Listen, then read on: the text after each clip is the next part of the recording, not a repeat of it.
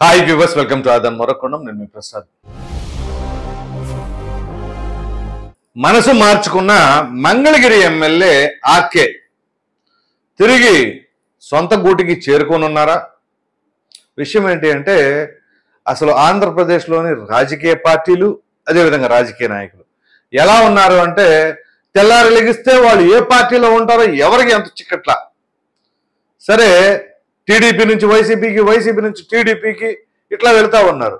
కానీ మంగళగిరి ఎమ్మెల్యేది మాత్రం ఒక ప్రత్యేకమైన పరిస్థితి.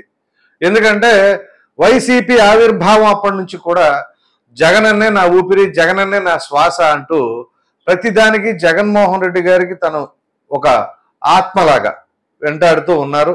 సరే జగన్మోహన్ రెడ్డి గారిని నమ్ముకున్నారు. రెండు వేల పద్నాలుగులో సీట్ ఇచ్చారు ఎమ్మెల్యే గెలుపొందారు. రెండు వేల పంతొమ్మిదిలో గెలుపొందారు. మంత్రి పదవి స్థానాన్ని రాలేదు. ఆ తర్వాత మరి ఏవేవో కారణాలు చెప్పి తాజాగా కొన్ని నెలల క్రితం అనుకోండి బహుశా రెండు మూడు నెలల క్రితం ఆయన ఎమ్మెల్యే పదవికి రాజీనామా చేశారు. పార్టీకి కూడా రాజీనామా చేశారు. ఇది చాలా కీలకమైన పాయింట్ అని చెప్పేసి మనం అప్పట్లోనే ఆయన రాజీనామా సమర్పించినప్పుడే మనం దాని గురించి ప్రస్తావించుకున్నాం. దానికి గల కారణం ఏంటి అంటే తెలుగుదేశం పార్టీ నుంచి వైసీపీలోకి వచ్చారు కదా గంజి చిరంజీవి అని చెప్పేసి స్థానిక నాయకుడు ఆయన. ఆయన తీసుకొచ్చి ఇచ్చారు ఆయన నియోజకవర్గ ఇన్ఛార్జిగా చేశారు. సార్ ఆయన టికెట్ కేటాయిస్తున్నారు ఆర్కే కేటాయించట్లేదు అనే ఉద్దేశం పైన ఆ విధంగా చేసుకొచ్చారు. సరే ఇంతవరకు బాగానే ఉంది. ఆయన అసంతృప్తి చెందారు బయటికి పోయారు.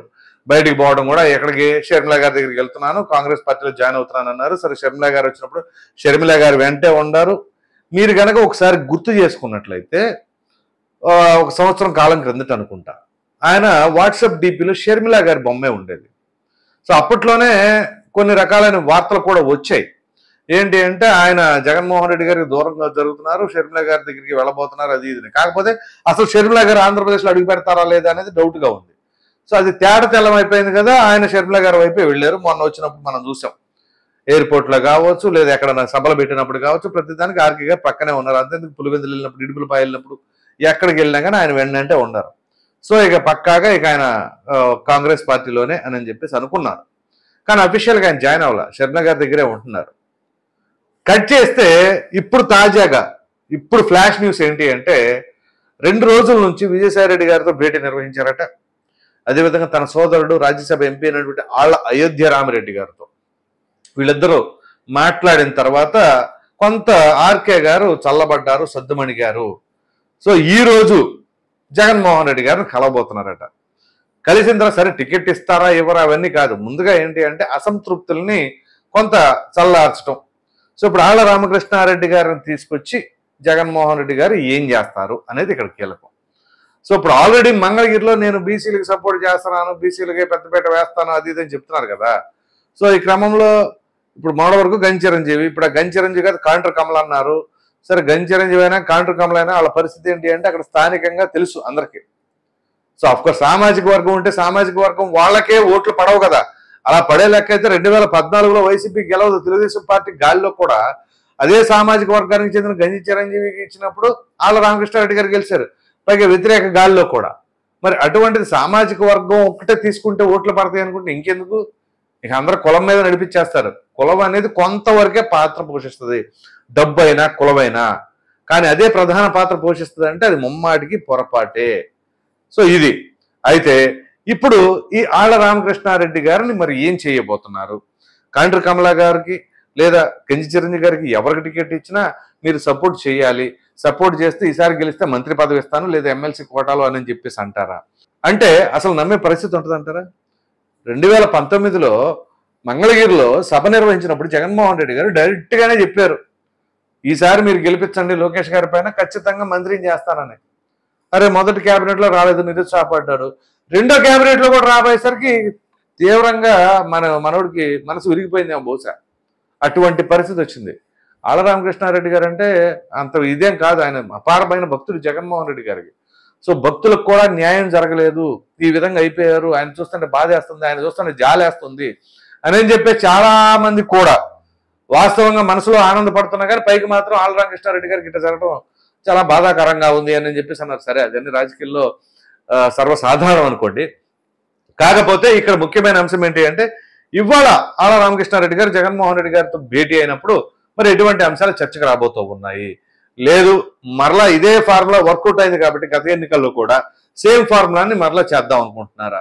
సేమ్ ఫార్ములాని చేద్దాం అనుకుంటే మరి రెండు వేల పంతొమ్మిదిలో వర్కౌట్ అయినట్లుగా రెండు వేల ఇరవై నాలుగులో వర్కౌట్ అవుతా అంటే వందకి వంద శాతం అవ్వదు. ఎందుకంటే రెండు వేల పంతొమ్మిదిలో ఆళ్ళ రామకృష్ణారెడ్డి గారిని ఎమ్మెల్యేగా చూసి ఉండారు కానీ జగన్మోహన్ రెడ్డి గారిని ముఖ్యమంత్రిగా చూడాల జనాలు. సో అది ఒక ఆప్షన్ మిగిలి ఉంది సో ఇప్పుడేంటి ఆళ్ళ రామకృష్ణారెడ్డి గారిని ఎమ్మెల్యేగా చూశారు జగన్మోహన్ రెడ్డి గారిని ముఖ్యమంత్రిగా చూశారు ఇక్కడ అమరావతి రాజధాని విషయంలో ఎటువంటి నిర్ణయం తీసుకున్నారో అందరూ చూశారు. అయితే ఈ అమరావతి రాజధానిని కవర్ చేసుకోవడం కోసం ఆ వ్యతిరేకతని తగ్గించుకోవడం కోసం ఏం చేశారు అంటే కాస్త మంగళగిరిలో రోడ్లు వేయటం కానీ ఇదంతా కానీ చేశారు. సో మంగళగిరిలో రోడ్లు వేసినంత మాత్రాన రాజధానిగా చేయకపోయినా పర్వాలేదని ప్రజలు ఏమన్నా అనుకుంటారా? అది కూడా ఆలోచించాలిగా పైగా ఇక్కడ ఈ రోడ్లు మరమ్మతులు ఇట్లాంటి కార్యక్రమాలన్నీ కూడా ఆళ్ళ వెంకటరెడ్డి గారు తన అనుచరులకి వర్క్లు ఇచ్చేశారు. ఆ వర్కులు చేపించడం వల్ల బిల్లులు మాత్రం రాలేదు కానీ చివరికి నేను అప్పులు చేసి చెల్లించానని ఆళ్ళ రామకృష్ణారెడ్డి గారే చెప్పారు కదా. సో ఈ విధంగా ఇక్కడ జరిగింది. మంగళగిరిలో జరిగింది ఏంటి అంటే చుట్టుప్రక్కల అంటే రోడ్లు వేయటం కానీ ఆ షాపులు కానీ ఇవన్నీ చాలా వరకు క్లియర్ చేసుకొని బ్రహ్మాండంగా చేసుకొచ్చారు. దాంట్లో తప్పేమీ లేదు. కానీ అసలు రాజధానికి సంబంధించిన అంశం ఏది అంటే ఎవరు మాట్లాడడానికి లేదు. అసలు దాని గురించే ప్రసక్తి లేదు. సో ఇక్కడ మనం ముఖ్యంగా మాట్లాడుకోవాల్సిన అంశాలు ఏంటి అంటే ఇప్పుడు వీటి వలన ఏమైనా ఉపయోగం ఉందా? అసలు ఆళ్ళ రామకృష్ణారెడ్డి గారు ఇప్పుడు చెప్పినా సరే ఆ క్రెడిబిలిటీ వస్తుందా? ఇప్పుడు ఆయన తేపకు ఒక పార్టీ మారిపోతా ఉన్నారు కదా. మరి ఇవాళ ఇవాళకి వచ్చిన మరి న్యూస్ సమాచారం ప్రకారం మనకి జగన్మోహన్ రెడ్డి గారితో భేటీ. మరలా రేపు షర్మిల గారు వస్తే ఇప్పుడు షర్మిల గారు అంటే తన బిడ్డ వివాహం జరిగింది కాబట్టి ఆవిడ కొంచెం బిజీగా ఉండారు. ఒక మూడు నాలుగు రోజుల నుంచి మూడు నాలుగు రోజులు వారం రోజుల నుంచి పెద్ద యాక్టివ్గా లేరు. ఎందుకంటే తన బిడ్డ వివాహం ఉంది కదా. ఇప్పుడు అది అయిపోయింది ఇది అయిపోయిన తర్వాత మరలా యాక్టివ్ అవుతారు. అప్పుడు మరలా ఆళ్ళ రామకృష్ణారెడ్డి గారు ఏమవుతారు? మొన్నటిదాకా షర్మిలాక ఆయన వెనకాల తిరిగారు కదా. సో ఇప్పుడు అసలు క్రెడిబిలిటీ పోగొట్టుకున్న వాళ్ళు ఆళ్ళ రామకృష్ణారెడ్డి గారు అయిపోయారు ఇప్పుడు. చివరికి ఏంటి అంటే అటు ఇటు వచ్చి మరలా ఇటే వస్తానంటే దానికి ఇంకేం క్రెడిబిలిటీ ఉంటుంది? అది ఏ పార్టీకి మారారా? ఎప్పుడు మారారా? సందర్భం ఏంటో చూడరు. కానీ అసలు ఈ కొన్ని రోజుల వ్యవధిలోనే ఆ పార్టీ కాదు ఈ పార్టీ ఈ పార్టీ కాదు ఆ పార్టీ అంటే ఇక అప్పుడు ఆ అనుచర వర్గం కూడా ఏం ఆలోచిస్తూ ఉంటుంది చివరికి ఇప్పటి వరకు ఆయన సంపాదించుకున్న ఇమేజ్ క్రేజీ మొత్తం కూడా పోతుందిగా. సో అసలు ఇప్పుడు కాంగ్రెస్ పార్టీని ఆయన ఎందుకు పెడుతున్నారు అంటే ఆయన అనుకున్నంత స్థాయిలో పార్టీ గ్రాఫ్ ఏమి పెరగలేదు. మనం ఇప్పుడు ఏమి చేయలేము ఈ పార్టీలో ఉండి అనే భావనలోకి వచ్చారంటారా? ఆ మాత్రం ఎనాలిసిస్ కూడా వేసుకోకుండానే గబగబా షర్మిల గారి దగ్గరికి వెళ్ళిపోయారంటారా? లేదు ఆవేశంలో తీసుకున్న నిర్ణయం అయి ఉంటుంది అంటారా సరే ఏం జరిగినా కానీ తన రాజకీయంగా తనకి ఇబ్బంది కలిగేలాగా చేసుకుంది తనే. ఇంక వేరే ఎవరు చేయలే. అఫ్ కోర్స్ అధిష్టానం కొన్ని కొన్ని నిర్ణయాలన్నీ నేను అనుకున్నట్టుగా జరగవు. అంత మాత్రాన హడావుడిగా మీరు నిర్ణయం చేసుకుని నేను రాజీనామా చేస్తానని చెప్పేసి పార్టీ కూడా సభ్యత్వానికి రాజీనామా చేసేసి ఆ తర్వాత ఇటుపోయి మరలా ఇప్పుడు రేపు ఇటు వస్తానంటే అది ప్రజలు ఎంతవరకు కూడా మరి స్వాగతిస్తారు అనేది కూడా ఆలోచించవలసిన అవసరం ఎంతైనా ఉంది. సో మొత్తం మీద ఆళ్ళ రామకృష్ణారెడ్డి గారు అయితే ఈ రోజు సీఎం జగన్మోహన్ రెడ్డి గారితో భేటీ నిర్వహించబోతున్నారు. మరి అసలు విజయసాయి రెడ్డి గారు ఆళ్ళ అయోధ్య రామరెడ్డి గారు తన సోదరుడు అసలు ఏం మాట్లాడారు?